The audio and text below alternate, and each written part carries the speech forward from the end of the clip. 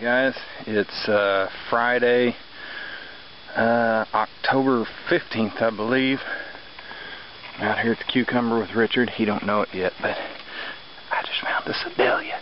Shh! Don't tell nobody. Let's go see what he's got to say about it.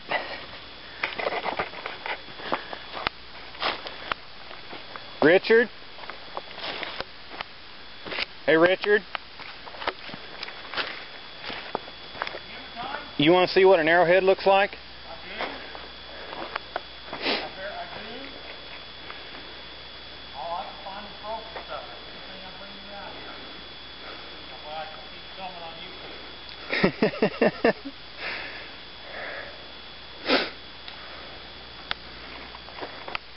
Alright guys, I'm going to let Richard go ahead and film this one and uh, I'll get back with you here in a minute. Hey guys, it's Tim. About 8.30. There's another one of my wife's beautiful pieces of artwork. Made the cover of the Brer magazine. Sorry I'm getting this video on so late. This will be a little uh, bedtime snack for you.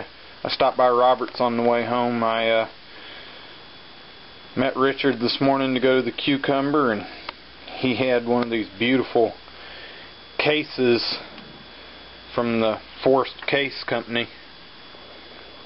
And these things are beautiful. Richard, thank you so much. Robert really appreciated his too. He immediately started putting stuff in it there at the house, but I stopped by and saw Mom and Robert, chit-chatted a little bit, so it's a little bit late. Here's that Sedalia that I found today.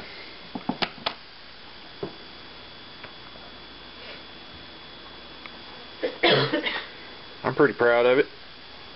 Got good colors. A little bit of tip damage. A little slight curve to it. I'm pretty proud. It's going to make a good looking case. That's all the stuff I found with Richard. Here's the rest of the stuff I found out at the Cucumber today. Heartbreaker, just missing tip. And then this big old bad Sedalia. That would have been awesome. But can't win them all. Alright.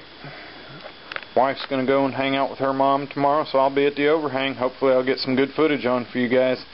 Thanks for watching. Hope you enjoyed your uh, bedtime snack.